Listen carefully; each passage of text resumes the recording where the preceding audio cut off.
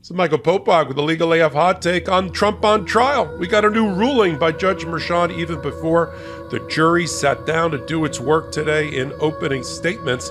This off of what is referred to as a Sandoval motion by the prosecution, the Manhattan DA, to bring in, if if Donald Trump decides to testify and waive his Fifth Amendment privilege, what uh, uncharged crimes and bad acts from the past that they will be able to use in cross examination and impeachment of Donald Trump. The judge has made his decision, and the uh, prosecutors have gotten most, but not all, of what they were looking for, as we predicted on Legal AFD. There was no way the, uh, the judge, in balancing the probative value against the highly prejudicial impact of some of this evidence on the jury, who's trying to make a decision about whether Donald Trump committed 34 acts of uh, 34 felonies uh, in the state of New York. This is the information that uh, that is the prosecutors are going to be allowed to cross-examine Donald Trump with if he takes the stand. Only if he takes the stand. None of what I'm going to tell you right now comes in if Donald Trump elects to keep his Fifth Amendment privilege intact and doesn't testify. I'll tell you what is allowed to be used and what is not going to be allowed to be used that the prosecutors had asked for in their giant Christmas list. I mean, they knew they weren't getting everything. They loaded that list up pretty well. But I'll tell you that the key things, and the prosecution should be um, very pleased with the result.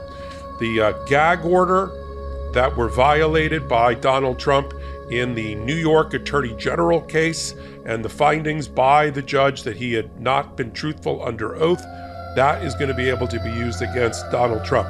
The rulings and findings of Judge of Judge Engoron in the New York Attorney General $465 million civil fraud judgment um, and decision and order against Donald Trump, that can come in in cross examination against Donald Trump.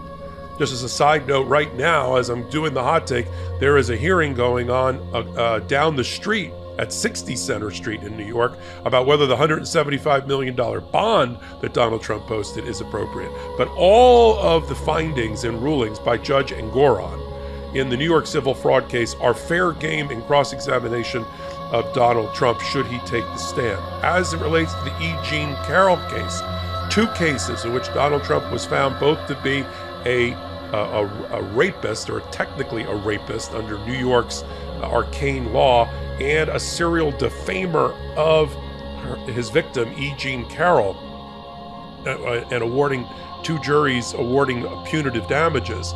The rape part is not going to be able to be used against Donald Trump. The judge balancing it and finding that while it's probative, it tends to prove a, a, fact in the case. It's also highly prejudicial. It'll blow the jury's mind. They won't be able to focus on um, the sex act cover ups that are at the heart of this prosecution. So, but in the E. Jean Carroll case, the prosecution will be able to cross examine Donald Trump about the fact that he was found uh, guilty or a judge to have defamed E. Jean Carroll several times and punitive damages were awarded. But the sex part, sorry, the sexual assault part, the rape part, will not be able to come in. Again, not because it's not relevant, but because the judge has weighed the has done the balancing test required and find that the prejudicial value outweighs the probative value. On the um, New York Attorney General prior matters against Donald Trump, the fact that his Trump Foundation uh, had to be dissolved because of fraudulent behavior, fraudulent conduct, that will be coming in. So there's a lot here for the New York Attorney General to like in Judge, in Judge Sandoval ruling, named after a case here in New York this morning. Gag orders violated, lying under oath, defaming E. Jean Carroll, being hit by uh, uh, two verdicts against him, including for punitive damages, that his organization has to be uh, Trump Organization had to be dissolved, or the Trump Foundation had to be dissolved, and all of the findings by Judge Engoron in the New York Attorney General $465 million persistent fraud case, they all come in. What doesn't come in? Here's what doesn't come in. They're not going to be able to talk about the sexual assault aspect, the rape aspect of the E. Jean Carroll cases. Again, under a balancing theory. They're not going to be able to, to bring in the case that was uh, presided over by Judge Merchan, in which the Trump organization, two of its subsidiaries, Trump Company and Trump Payroll, were found to have committed tax fraud and business record fraud, 17 count criminal conviction two years ago. That was where Allen Weisselberg first got into trouble um, uh, with the Manhattan DA's office, the chief financial officer for Donald Trump, now serving another sentence at Rikers Island for committing perjury for Donald Trump. This episode of Legal AF is brought to you by Manukora Honey, also known as the honey with superpowers. Let me share something sweet with you, and I mean really sweet. It's something that's become a staple in my routine, and I think you're gonna love it. I'm talking about Manukora Honey. When I say honey, you might be picturing those bear shaped bottles at the supermarket. But that's not what this is. Manukora honey is single origin, rich, creamy, and the most delicious honey you've ever had. It's supercharged with unique antioxidants and prebiotics and has three times more than your average honey. Manukora honey supports immunity, aids digestion, boosts energy, and helps balance inflammation. It's a game changer, and all you need is one to three teaspoons a day. On top of that, Manukora honey has a natural antibacterial compound called MGO, only found in Manuka honey. So if you're looking for something simple and delicious to add to your wellness routine, we found your new healthy habit. Now it's easier than ever to try Manukora honey with the starter kit. Just head to manukora.com slash legalaf to get $25 off. The starter kit comes with an MGO 850 plus Manuka honey, five honey travel sticks, a wooden spoon, plus a guidebook. Now, I love the jar and squeeze bottle, but the extra pack of compostable honey sticks is perfect for whenever you're on the go. You can bring them with you when you're traveling or need a quick snack running errands. And they are the perfect energy boost if you're out for a run or at the gym. That's M-A-N-U-K-O-R-A dot com slash legalaf to get $25 off your starter kit. This is the ultimate honey indulge. And try some honey with superpowers from Manukora. Manukora is incredible and I'm so thankful they're a partner of the show. I look forward to Manukora every morning. Make sure you click the link in our description or head to manukora.com slash legalaf and try some today. That whole criminal case, although so on the nose, so to speak, so so close in conduct to what is being charged in, in this prosecution, but that's the very reason the judge won't allow it because it'll it'll blow the jury's mind. They'll assume, well, his company's committed fraud and business record fraud before. You know, they and they did it again, and that's the kind of gatekeeping the judge has to do to keep out this evidence under what we refer to as a Rule 401, Rule 403 balancing test probative value outweighed substantially by the prejudicial impact on the jury. Once the jury hears about the 17 count criminal conviction, boom, they're going to convict again. Not unusual for a criminal judge to keep out other prior crimes from the jury who is trying to consider whether the guy, the person committed this crime.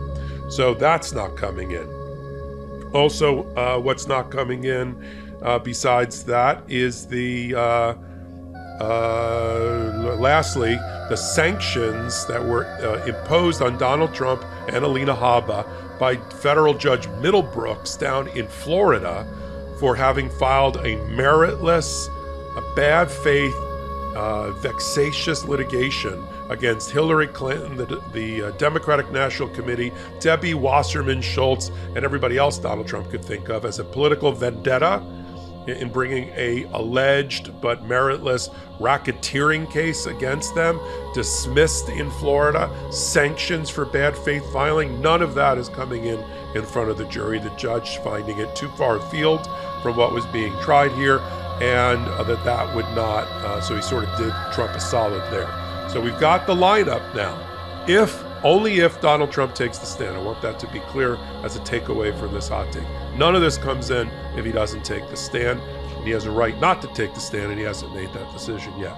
So if he takes the stand, he gets cross-examined, cross-examined vigorously on the fraud the fraud findings against him in the New York Attorney General case, the gag order violations and punishments that were imposed on him, the fact that he got, he defamed mercilessly E. Jean Carroll and was sanctioned for that, and a judge to have defamed her and hit with punitive damages and the dissolution of the Trump Foundation. What is out is the Middlebrooks $1 million fine and sanction down in Florida for frivolous filings. The fact that his prior companies, his companies got sanctioned in a prior case uh, and hit with a 17 count felony conviction for fraud, uh, tax fraud, and business record fraud.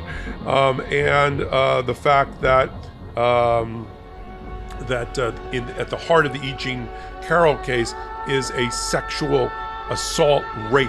That's not going to be coming in. However, uh, the judge reaffirmed once again that the Access Hollywood hot mic moment where Donald Trump uh, back in 2012 was caught telling Billy Bush that he can sexually assault women and get away with it, including grabbing their genitalia because he's a celebrity. The transcript is going to be read out loud to the jury, although the actual audio is not going to be played. But that was reaffirmed again today. That Access Hollywood transcript is going to come in regardless of whether Donald Trump takes the stand or not. That's an important kind of takeaway from this particular hot take. So, look, we're covering the Trump trial. It's every day. Well, it's four days a week Monday, Tuesday, Thursday, Friday. The court is dark on Wednesdays while they do other things in other cases. Um, there might be some breaks here and there for holidays and that type of thing, but this is going to go six or eight weeks. I mean, there's going to be a very quick. There has been a very quick uh, opening statements in here. We're getting right to the first witness, David Pecker, formerly the National Enquirer, a roadmap witness from hell for Donald Trump, um, who will uh, be uh, proving a lot of the case, corroborating a lot of the evidence, and bolstering a lot of the credibility of witnesses like Michael Cohen, all in one fell swoop over a day and a half of, uh, or so of testimony. We'll follow it on the Midas Touch Network, and then Legal AF will pull it all together on Wednesdays and Saturdays at, on our podcast at the intersection of law and politics. Join us at 8 p.m. Eastern Time on the Midas Touch Network and find out why we call it Legal AF. We curate the top eight stories. Uh, sorry, that's too many. The top five stories at the intersection of law and politics. We bring it to you right here on Midas Touch and on the legal on Legal AF. So until my next Legal AF, until my next hot take. This is Michael Popok reporting. By the way, if you like what I'm doing, leave a comment. Um, you know, give a thumbs up. I've been known to we'll do a little bit of a talk back.